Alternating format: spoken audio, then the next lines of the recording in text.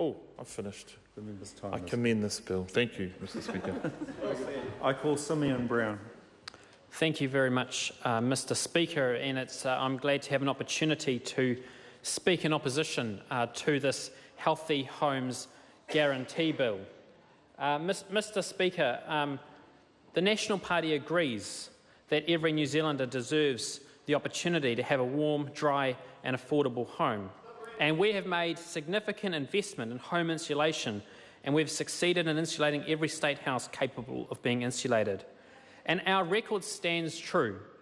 We have insulated hundreds of thousands of homes over the last nine years while we're in government, which compares, which compares to 50,000 done under the nine years that, of the previous Labor government.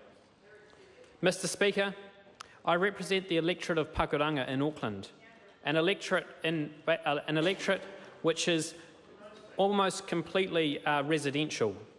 And it's people, there are people who rent, there are people who own, and there are people who also own rental properties. And the question that they have of this bill is what will it do? It's called the, re, it's called the Healthy Homes Guarantee Bill.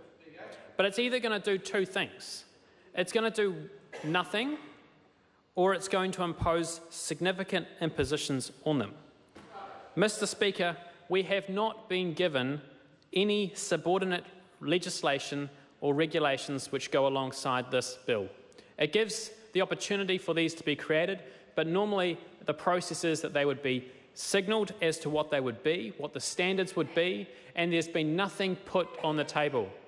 Mr. Speaker, this means that there has been no opportunity for what the cost, what the cost of these, what of these, uh, re, these uh, regulations will be on landlords and on people who own properties who will be subjected under this legislation.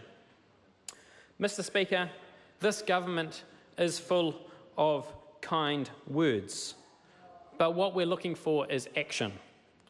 And this, this bill, while it may be called the Guarantee Bill, as I said, provides no guarantees and therefore will, ins- will continue to mean that the current legislation, which we've already put in place, uh, is, is, we're not sure whether it's improved, whether it does anything really. So, Mr. Speaker, I, the National Party can't support legislation where we don't know what it's going to do, we don't know what the cost of it's going to be, and we want certainty from this government, not more and more of this platitudes and kind words. So, Mr. Speaker, we will be opposing this legislation. Thank you very much.